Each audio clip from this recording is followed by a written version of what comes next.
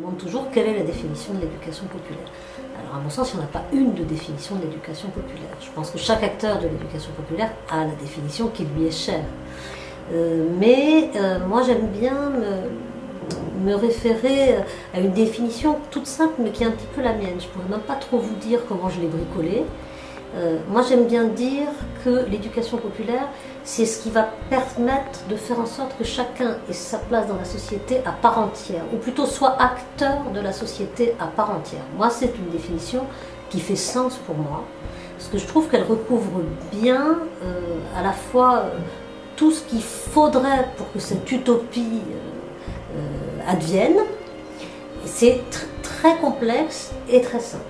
Alors ça signifierait quoi avoir sa place dans la société à part entière?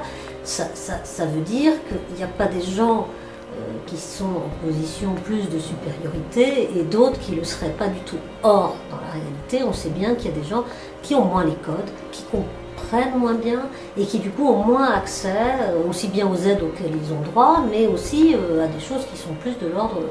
Pourquoi les gens, par exemple, pourquoi n'importe lequel d'entre nous ne pourrait pas entreprendre et faire l'entreprise dont il rêve, bah, finalement, c'est pas si simple. Certains semblent avoir accès à, des choses qui sont libres et d'autres semblent ne pas y avoir accès. Pourquoi est-ce qu'ils n'y ont pas accès et qu'est-ce qu'on peut faire pour que tout le monde y ait accès, je dirais naturellement? Donc ça, pour moi, ce serait le vaste programme de l'éducation populaire, c'est que tout le monde puisse exercer son libre arbitre et puisse être émancipé et donc pas dominé. Hein. Je vais utiliser un peu un gros mot que certains penseurs de l'éducation populaire ont bien utilisé. Voilà. Euh, parce que sans doute que quand on n'a pas accès à quelque chose, souvent euh, le frein est presque intérieur. On vit dans une société libre. Chez nous, on ne peut pas dire qu'il y a des gens qui n'ont pas, pas accès. Euh, il n'y a pas des barrières qui les empêchent d'avoir accès à telle aide sociale ou à telle action. Par contre, euh, souvent, le, frein est sans doute intérieur. Et comment nous, acteurs de l'éducation populaire, on fait que tout le monde se sente autorisé à s'exprimer, autorisé à choisir, autorisé à entreprendre, autorisé à choisir sa vie, euh, etc. Et si possible, vivre heureux. Voilà, donc c'est un vaste programme. Alors après, voilà, pour moi, ce qui fait sens, c'est une définition donc très vaste de l'éducation populaire. Euh, selon les acteurs, ça, embrasse très largement la façon dont je vois les choses. Euh, donc, euh, évidemment, si on n'a pas un toit sur la tête, par exemple, on ne peut pas imaginer être acteur de la société entière. C'est pas mon rayon, c'est pas ce dont s'occupe le Centre du sport et de la jeunesse de Corse. Donc moi, je vais plutôt m'occuper parce que l'établissement mène tout un tas d'actions, des actions de formation, des actions d'insertion, des actions de sensibilisation, des actions d'accompagnement de parcours d'excellence sportive et scolaire. Donc c'est des actions très variées, euh, des actions d'échange de jeunes euh, européens. Donc au, au, sein de toutes les actions, moi cette belle ambition, cette utopie, c'est un souci permanent.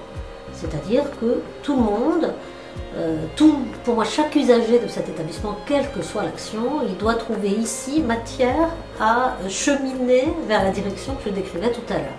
Donc je fais le pari, j'espère qu'il va ressortir plus libre, euh, plus en capacité d'exercer ses, capacités d'analyse critique qu'en arrivant.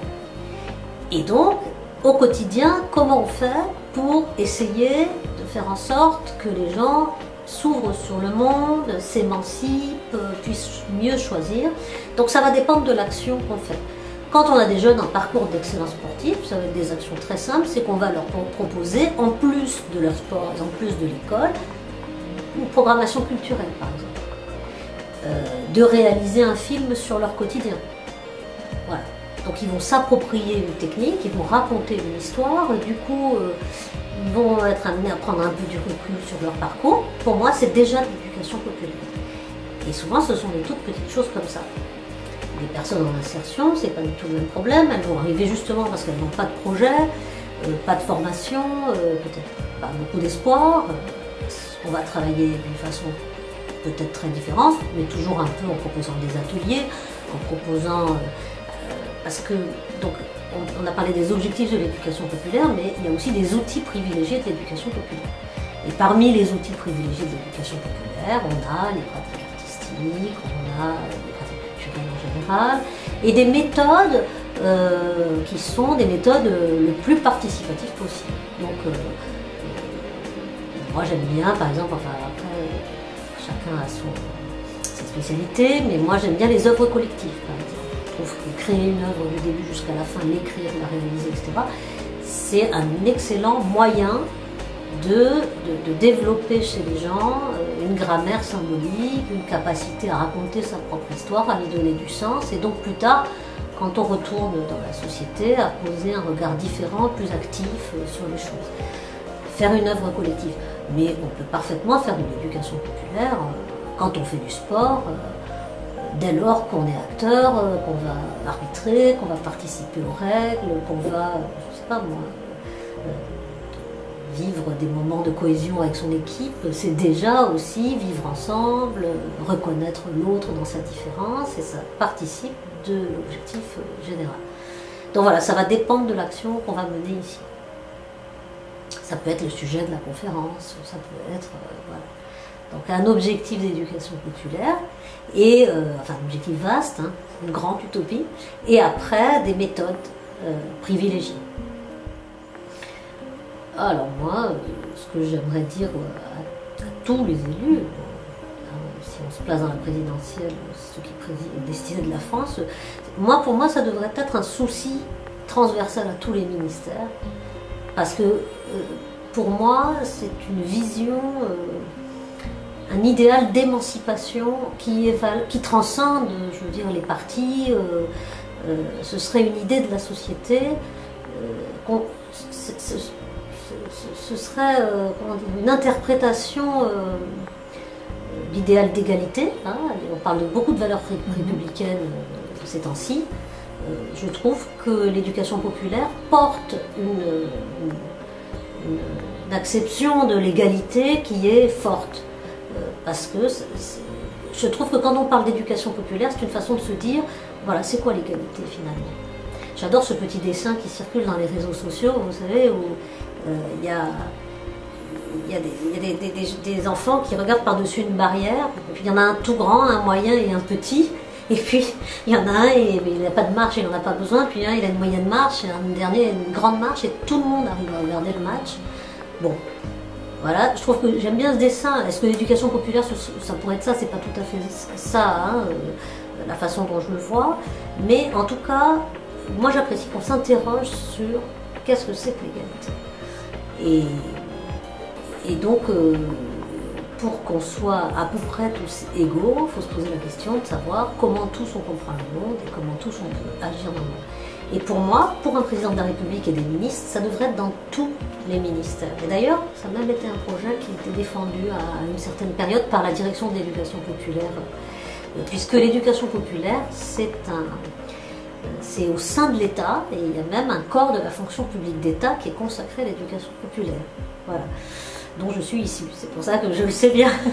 Donc euh, c'est pas c'est pareil, les gens qui connaissent pas ne savent pas ça. C'est pas une lubie l'éducation populaire, c'est euh, une valeur euh, qui est défendue par la fonction publique d'État depuis 81, le corps existe. Euh, et qui est le, Conseil national de la résistance après la guerre l'avait inscrit dans ses, objectifs. Donc euh, voilà, c'est pas forcément une vie euh, d'associatif alternatif ou l'apanage d'un courant politique spécial. Je crois que c'est une aspiration noble et transversale. Donc, en termes de, soucis publics, ça fait partie du ministère de la Jeunesse et des Sports qui change souvent de dénomination.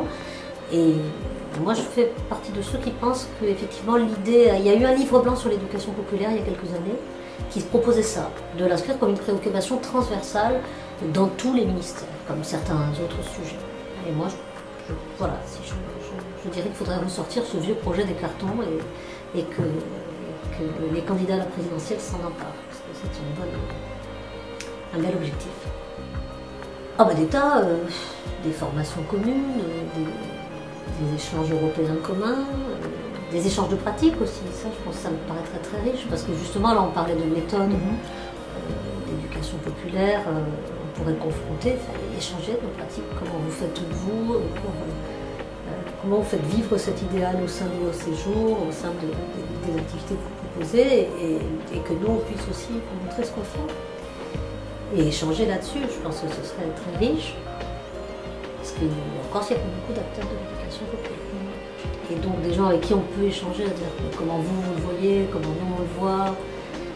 Parce que je pense qu'on est d'accord sur l'idéal commun, mais, euh, voilà, je pense que chaque acteur de l'éducation populaire, c'est ce que je disais tout à l'heure, a son, façon de voir les choses, et je pense qu'on a beaucoup intérêt à échanger.